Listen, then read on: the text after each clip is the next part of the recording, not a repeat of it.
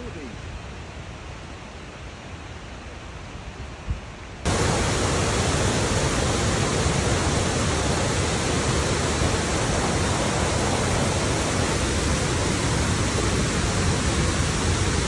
Here in the Catskills. Is the waterfall trail.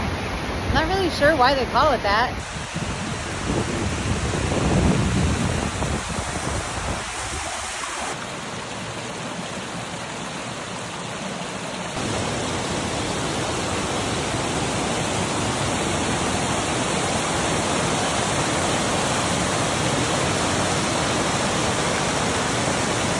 The Hudson River back there. So we're in the Catskills and this is the view.